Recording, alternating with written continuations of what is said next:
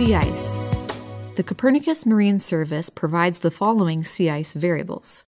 Sea ice concentration is the percentage of an area covered by sea ice, while the extent of sea ice is the total area covered by at least 15% of sea ice at a given moment in time.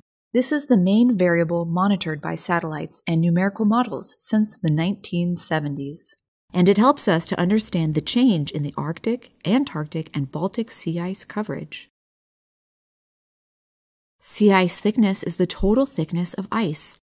With sea ice concentration, the ice thickness allows us to monitor the most sensitive sea ice quantity to climate change in the Arctic, namely the sea ice volume.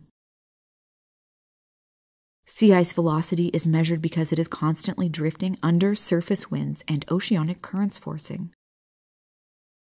Sea ice surface temperature is essential to monitoring the surface heat balance in polar regions. Do you also want to learn how to use our data?